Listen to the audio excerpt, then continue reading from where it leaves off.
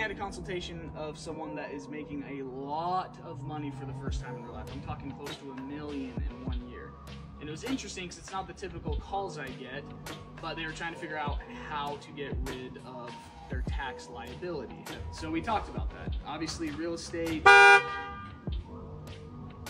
obviously real estate, the RV rentals, a bunch of stuff I buy. A lot of people don't realize a lot of it is for tax reasons. More money you make, the more you're focusing on how to save from taxes because that's the biggest thing that's going to wreck you.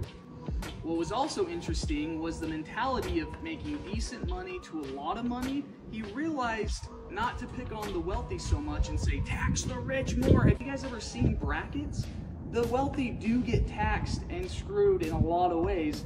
They have to figure out ways around that but the perspective was opened a little bit to realize whether you're extremely wealthy or not, we're all playing the same game. We're all paying taxes. It's all relative.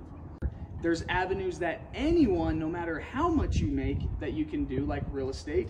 First real estate deal, I was making 60 grand a year, maybe even a little less. And I kept buying more and more, making 100 grand, finally making 120, 150. I wasn't making millions ever. It wasn't until fast forward five, ten years, I realized the properties I had were worth millions. But that's not the case when I first started. It wasn't to become a multi multi millionaire. I just knew in the back of my mind that was a smart thing to do and something you should do.